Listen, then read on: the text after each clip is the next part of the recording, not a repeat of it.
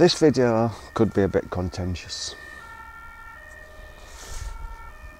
Because this is my personal thoughts on Brexit. And there's a couple of notes here, not really, I've got a script, I'm just saying what comes to my mind as, goes, as I sit here thinking about it. Now, I am for Britain staying in the common market in Europe for obvious reasons because I live in Europe and for me it would be a bit more difficult if Britain left to travel there and ease of travel. That's just a personal thing, but generally, let me just start by making a few observations.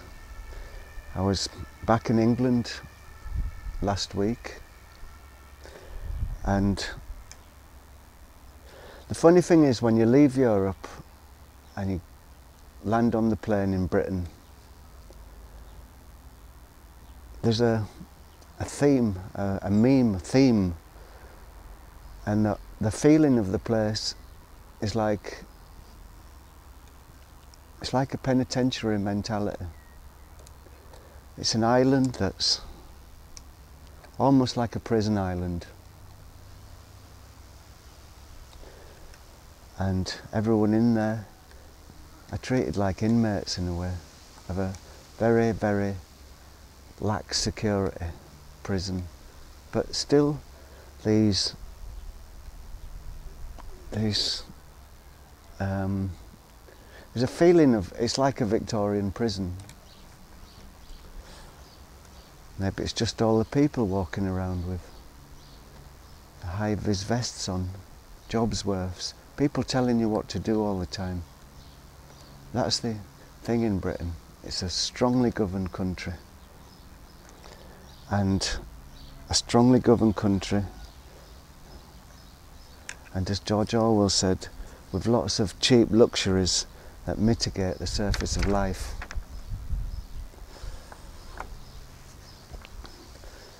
So I've just flown in from Europe and I rented a car Manchester Airport and the whole place where the car rental place is has got a, a 15 foot fence with razor wire on top to stop all the scum climbing in and stealing the cars. Scum climbing in. That's the uh, term in Britain for people without money. And there's a lot of them. So you get in this rented car and you drive out of the high security place where the cars are kept and you get onto the roads.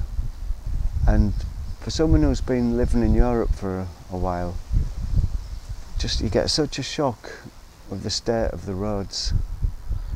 They're just full of potholes. I went to Czechoslovakia 25 years ago, just as they came out of the communist time. And the roads there were really bad. They were just not maintained at all. And that's the exact thought I had when I got in the car in England last week, that these roads are just like the roads in Czechoslovakia. And it make, makes me ask myself, why? Why is it so down run why is it so unmaintained, the country? Why is there no money going into things like roads and infrastructure? Because it's just really unbelievable compared with mainland Europe. I'm not just talking about Germany, I'm talking using roads as a comparison.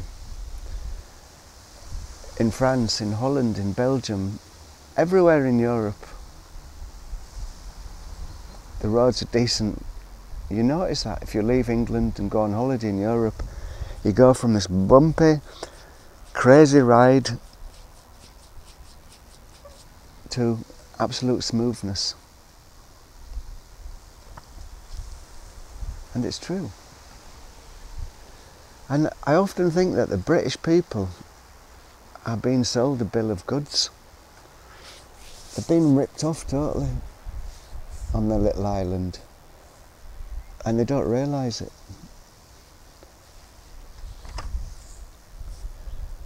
Now, I, I agree with the NHS, that's a good thing, but it's so underfunded.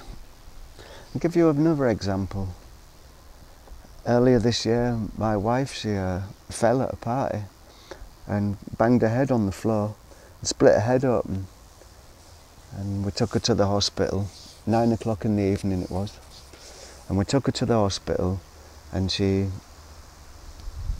got her head stitched up and she was back at the party at half past ten.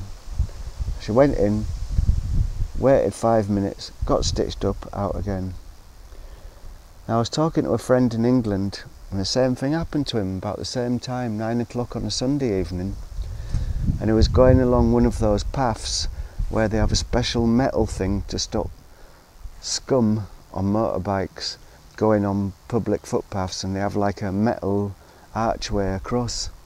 And he was walking under that and he's partially blind this guy. And he caught his head under this metal stanchion thing and split all his head open. And he went down to casualty at the hospital nine o'clock in the evening. And he sat there till eight o'clock in the morning with a big bunch of tissues on his head blood all over his face and he didn't get seen to till eight o'clock the next morning. So he sat there in casualty for 11 hours in the waiting room and got his head stitched up the next morning. And that was just like another example of the difference between, well, I'm talking about Germany now, but I think the healthcare is pretty good in Spain. I think it's pretty good in in France and it's pretty good in Germany and dental care too. there's a depending where you go in England. If you go to a nice place, I was in the Yorkshire Dales, beautiful, beautiful if you've got plenty of money. But the cities, apart from the nice areas of the cities, but majority of the areas in the cities is is so run down and it's so depressing. It's so broken when you look at it compared to looking at a European town. There's just a, a sense of hopelessness there. And it makes me wonder where is all the money going because people are taxed more in Britain on cars, on road tax, on petrol, everything's higher tax and there just doesn't seem to be anything for it, for this money. And it could, it could be said that Britain's gone the American way um, with litigation. For example, if if the council don't fix the roads and there's a big pothole, and somebody trips up in the pothole and hurts their, their leg, or the car drives through the pothole, um, people sue the, the council and the council pay out. So all the money's going into lawyers' pockets rather than going into fixing the problems. And I think that's one of the problems about Britain. It's gone the American way, it's all down with lit litigation. People are scared to do everything because of litigation. And then they talk about Europe um, imposing rules on uh, on Britain, and that's one of the reasons they want to leave for the imposed rules from from Europe and it just doesn't seem to hang together. People say they want a, an elected government who's responsible to the electorate, not some distant superpower, superstate that will do things not in their name. But I ask myself, in such a strongly governed country of Britain, which is governed by hereditary plutocrats, people who came in from France a thousand years ago. That's mainly the same people who are still ruling Britain. It's all the aristocrats. They're all mil- not all, but most of the people in the government are millionaires. And they've got a vested interest in themselves and keeping themselves rich. And there's always the feeling in Britain that uh, the government's not working for you, the government's working against you. It's rich people in the government trying to keep that money, and everyone else, it's yeah, I'm all right, Jack. That's th- that is the uh, modus operandi in Britain. And people who think it's going to be better if Britain leaves Europe, I think they're living in a delusionary world, really.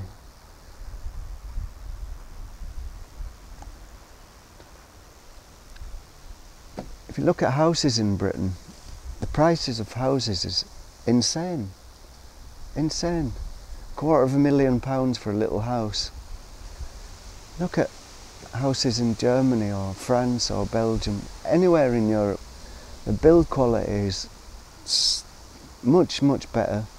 They're, they're much bigger. Houses in Britain, they're, they're not slums, but they're like little rabbit hutches, the most of them, with absolutely scandalously bad build quality. But people have been programmed to believe what they've got. The Englishman's castle is his home. The Englishman's dog kennel is his home. And I've got nothing against the British people. You know, I love. I think I'm, the the people is a saving thing about England, and the beautiful countryside. Until it gets destroyed by fracking or some other idiot thing. So, all the guys who tell you, all the politicians who tell you to, to leave Europe, they've got vested interest in keeping the power in their hands. Let's digress a little bit now. Over the years, countries get built up. It starts off as villages, one village against another village, villages pulled together to be cities. Regions where cities are become counties, and there's counties that this county, that county. Counties come together to become a country, and then one country, and there's another country. And it seems like it's a kind of a progress that we're going from a tribal village up, expanding out till we get countries. And my belief is world state would be good because if there was world state, no countries, just one world state, then that would solve a lot of problems in my mind. And what does sovereignty mean? Being having fealty to one uh, group of aristocrats, your feudal lords, having fealty to them. Is, is that any way to be proud? And lots of people have spoke about world state. H.G. Wells, that was his big, big thing. Eventually we all get, we get this world state. The people against it always say, yeah, then it'll turn into a big totalitarian world with a few crazy people ruling us. But I don't think it will be like that. I think that's what, what's going to happen eventually. That's the only way we're going to move forward is a world state and some form of machine um, organisation, computer organisation, giving every single person what they need to live I think that will come eventually. It'll take a few hundred years, but if we get through this period of what, what's going to happen, I think, is all the countries will merge together. The perhaps Europe and America, and perhaps Russia. They will merge together, and then perhaps China and Asia will merge together, and there will possibly be a giant war but that's just that process I was talking about about small villages, counties, cities, countries. It's that on a world scale growing up. But eventually it will be one world state and we'll look back on, on times of today like we look back on medieval villages and every single village having a castle uh, to protect itself from being uh, attacked by the next village. So that's how I think it's going to go eventually. I know that's looking a long way into the future and generalising.